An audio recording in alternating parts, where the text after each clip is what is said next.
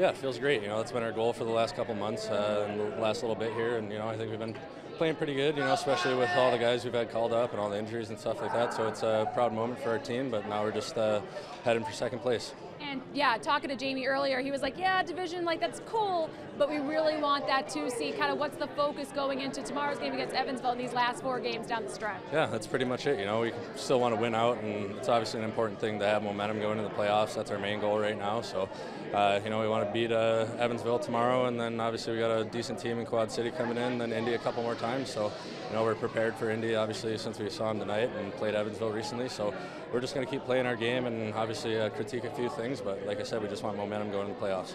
Guys coming back from the AHL, you got Mbach back, you got Southern back. How much is kind of building up that team chemistry as you head into the playoffs of an importance right now? Yeah, absolutely. You know, I, I think the guys that have all came in have done great jobs. You know, uh, Crunk's been huge for us so far. Freeman's been a good addition. You know, Savvy on the back end, all that. So, uh, you know, we've been happy with what we got. But uh, you know, obviously we've got a couple more guys who've been here all year, and uh, we want to get them uh, feeling good, make sure they're healthy, and uh, you know, obviously get them in the last few games, and uh, you know, just keep that chemistry going.